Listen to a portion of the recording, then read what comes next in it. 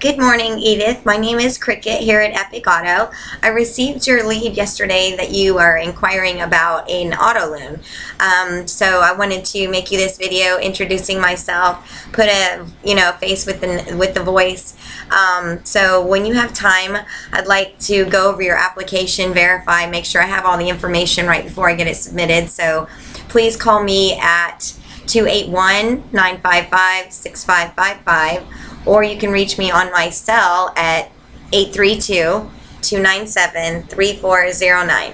I look forward to working with you and helping you get into your next vehicle. Have a great morning. Bye.